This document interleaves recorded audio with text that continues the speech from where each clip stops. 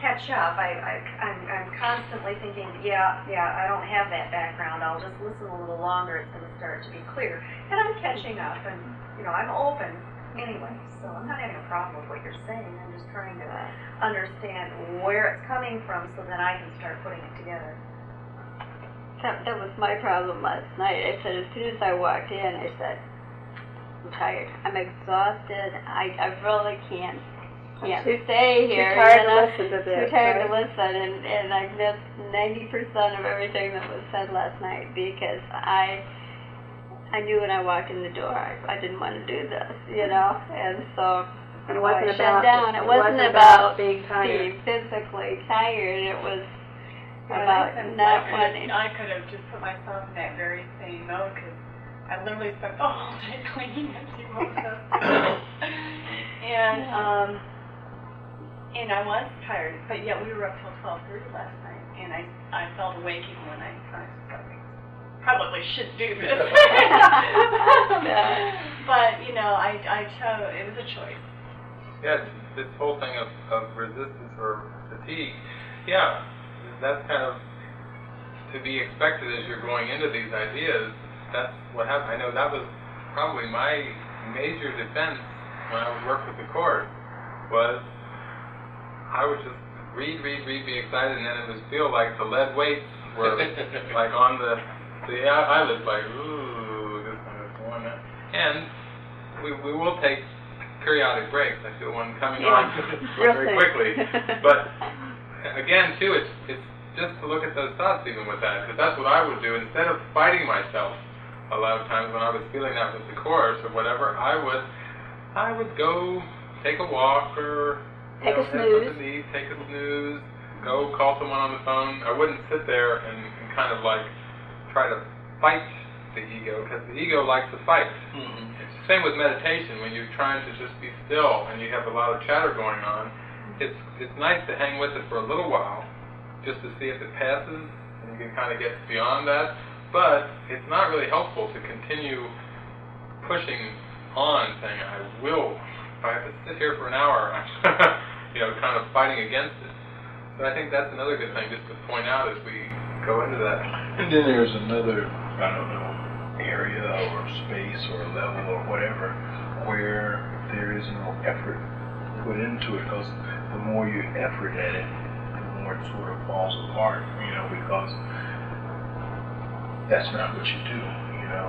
Again, I guess it gets back to that wanting to do something in the area of ego does that doing get done and not necessarily in that area of Holy Spirit because that's a place that I see more of being than doing, you know, a state of mind and a way of, at least that's wrong and right mind perception because you're still at that level. So if you can just choose to be right-minded and change your mind and have that, you know, take care of seeming to be tired, that's great.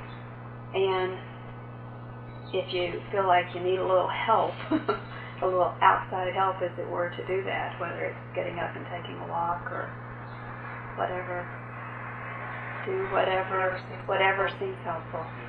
That's another thing too. It's good to mention that that when we're doing this, it's a real free-flowing kind of thing to going into this, and there may be times where even one person may seem to, to want to do that, and that's fine too. You I don't have to have- wait and wait until we Yeah. all take a break at the same Yeah. time or something. If you I don't have expectations, and, and we don't have a lot of expectations of having to think, well, I really could do with a stretch or to go a cup of coffee or the bathroom or something, and and all those things about group expectations, but we're in the middle of a group session, so I'll hold it or I'll, you know, this or that. It's real free flowing because we're going to be going so deeply in things, and and things like that will come up. So feel free as we go along at any time to do anything like that.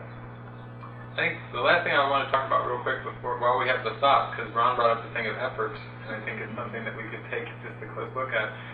Jesus says that um, when the mind falls asleep and is conditioned to the ego, it is conditioned to backwards thinking. I call it backwards thinking, where it seems as if what is happening out here on the outer ring, or what's happening on the screen, to use our projector analogy, is causative. And the, the state of mind is the effect. In other words, the mind seems to be at the mercy of external forces.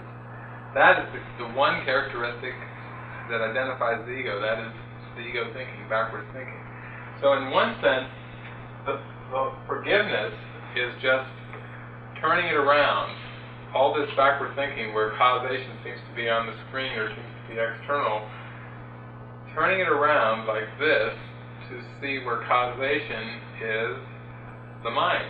That the mind is causative. And that the screen is not causative at all. There's nothing on the screen ever that's causative. And it seems to be, a, that's what the process seems to be of turning around cause and effect. Now, to get to your thing of effort, Jesus says that you know if you if your mind is aimed in this direction, so to speak, and it's it's just really attached to backward thinking, that initially it's going to take an effort to turn it around. As you begin the mind training, it as Jesus will say in the lessons, you know, try to do this, you know, three times a mm-hmm. day or four times a day. If you forget, try again. you know, he, he really is calling on effort. He's calling on that little willingness. And initially, it takes the effort to start to begin to turn it around. And just like with anything, once you pass the halfway point, so to speak, or once you really start to transfer the training and you start to really remember, oh, I thought the problem was such, such, such, but, ah, that's not it. I need a miracle. Help me see this. Help me this differently. The more consistent you become at that, the more you're able to transfer that to seemingly more specific situations. The mind, that cause and effect gets turned around.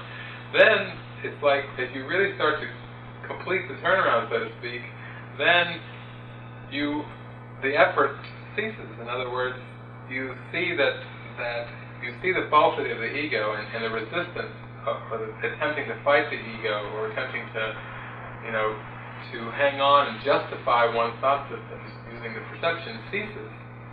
And that's the point where Jesus says you start to see that, that the ego and the Holy Spirit are mutually exclusive. Before it seemed like a vacillation. But with, hot, with a lot of mind training, you start to see, wait a minute, this is, this is simple. And you withdraw your mind's allegiance from the ego, and then at that point, there's no effort required.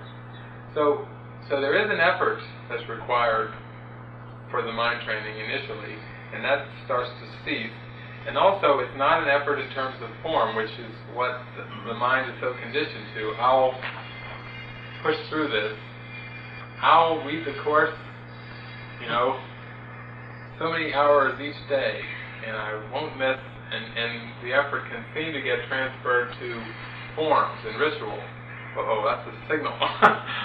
if that's starting to take place, then then it's it's like trying to change the form or trying to do something again in form or get a hold of a ritual or you know change the screen, and that should be an immediate red flag that wait a minute here. The ego looks like it's getting involved. I'm, I'm giving into the ego if I'm trying to change the screen again. So I'm glad you brought up that whole area of effort because it's one of those that you have to kind of get a close feel for.